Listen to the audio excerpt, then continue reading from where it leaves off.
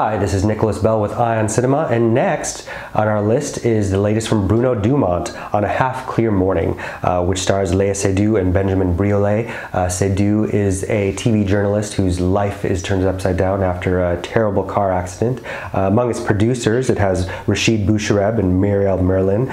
Um, it's lensed by David Chambille, who, uh, amongst other things, uh, has lensed uh, a great film from 2014. My friend Victoria uh, was also uh, worked with Dumont on his last film, Joan of Arc, the second in his Joan of Arc series. Um, so Dumont, of course, is usually a regular at Cannes. Uh, he premiered uh, his debut, The Life of Jesus, in 1997, where he won a special mention for the Golden Camera in Director's Fortnight. Uh, he returned there in 2014 with Li'l Quinquin, um, and again in 2017 with Jeannette, the story of the childhood of Joan of Arc.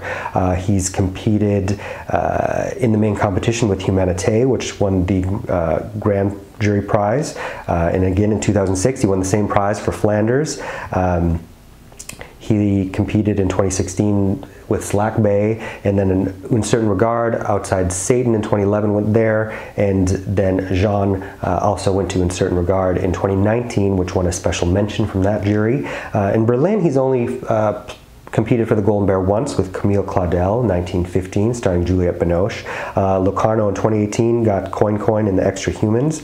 And uh, Venice has only seen Dumont compete once in 2003 with 29 Palms.